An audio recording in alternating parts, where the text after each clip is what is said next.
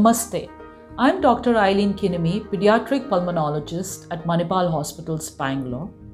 On World Pneumonia Day, I'd like to share a few valuable insights to childhood pneumonia. Pneumonia is an acute respiratory tract infection that affects the lung. Unfortunately, it still causes a significant morbidity and mortality in children, particularly less than 5 years of age. And one fifth of the childhood mortality is still caused by pneumonia. We also know that 50% of these community acquired pneumonias in children are in children less than 5 years of age. So, what causes these pneumonias?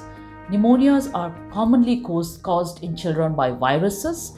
Viruses as such as the common cold virus, rhinoviruses, RSV, influenza viruses, H1N1, the swine flu, and even what we're going through, the current pandemic COVID virus. Various bacteria ranging from Streptococcus, Staphylococcus, Mycoplasma, and many more bacteria can cause this infection. How do we recognize it as parents and caregivers? If your child has fever, difficulty in breathing, fast breathing, or even has cough, some children may have pain, complaints of pain in the abdomen, in the chest, and depending on the severity, may also have complaints of vomiting, not able to feed, excessive crying, and of course, respiratory, severe respiratory failure in few. The most important and the key component to managing a child with pneumonia is please take to your regular doctor or your regular pediatrician at the earliest.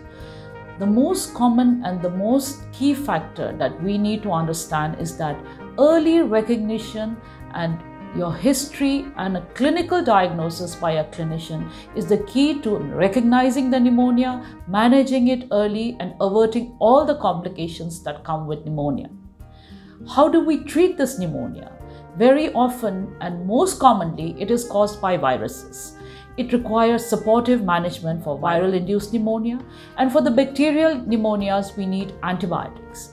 Even the antibiotics have to be the correct dosage for the correct duration, and it has to be properly admi- administered and be counter checked about uh, whether the child is improving with those given antibiotics. How do we prevent this common pneumonias?